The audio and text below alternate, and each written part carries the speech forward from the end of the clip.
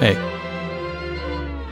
Hey, Alexander Hamilton here. Folks are always asking me, Alex, what the heck does the Mint do? Glad you asked. What do I know about the US Mint? Well, a lot. Anywho, the Mint started in 1792 and been cranking out coins and medals ever since. Ever get change back from a purchase? Flip a coin to see who kicks first or, I don't know, provide spin balance weight for a spacecraft. Leaving the galaxy. Yeah, that's us. We also protect gold. A lot of it. How many coins does the Mint make? How's up to 28 billion in a year sound? Not too shabby. So yeah, the Mint makes coins. When you think Mint, think coins. Do not think ice cream. Think coins. From cash transactions across this great land, you're welcome. Thanks.